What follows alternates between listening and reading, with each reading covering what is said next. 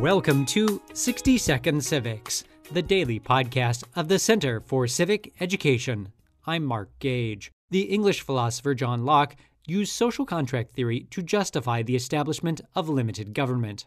The Declaration of Independence, which reflects Locke's view of natural rights, states that people consent to government to protect certain natural rights, identified in the Declaration as the inalienable rights to life, liberty, and the pursuit of happiness. If government fails to protect these rights, the people have the right to alter or abolish it and establish a new government. The second of John Locke's two treatises on government is among the most widely read works on political thought and has been called the Bible of the American Revolution. This work has seen perhaps a hundred printings in at least 14 languages.